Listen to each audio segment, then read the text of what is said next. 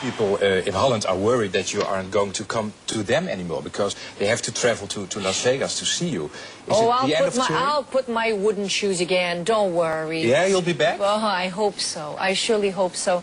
I um, I've been to your beautiful country many times. Not, I don't want to say many times, but more than a couple of times. A few times, I'd say. And you were always, everyone's been very arms opened every time to welcome all of us on tour and when I was there for television shows and shows and it's my turn hmm. to invite you to my home. Because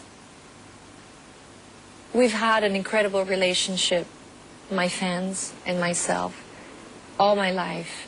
And they've put me where I am and I'm very very thankful and this show is technically impossible for me to go on the road with because if it would be possible, I would maybe think about going on the road with it.